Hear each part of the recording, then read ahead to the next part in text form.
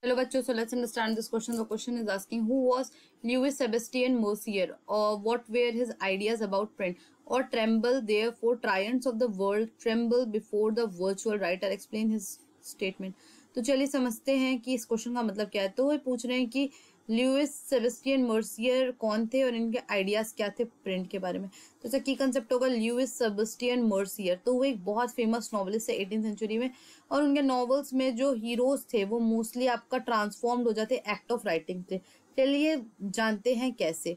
तो सबसे पहले तो उन्होंने अपने लाइक राइटिंग्स में दिखाया है कि उन्हें कितना प्यार था राइटिंग से रीडिंग से। तो वो हमेशा अपने बुक्स में बोलते थे कि हमें पढ़ना चाहिए, हमें अच्छे से रीड करना चाहिए। और उनके नॉवेल्स में जैसा कि हमने बताया कि थोड़े इवल टाइप के हीरोज रहते थे। तो उनको ऐसे अनपढ़ गवार टाइप का दिखाया जाता था और वो धीरे धीरे करके क्या होता था कि एक्ट ऑफ़ रीडिंग से मतलब कि पढ़ाई की ताकत की मदद से कौन कैसे अच्छा आदमी बन सकता है। वो अपने नॉवल में ये बात दिखाए। So I hope this question has been clear to you thank you and best of luck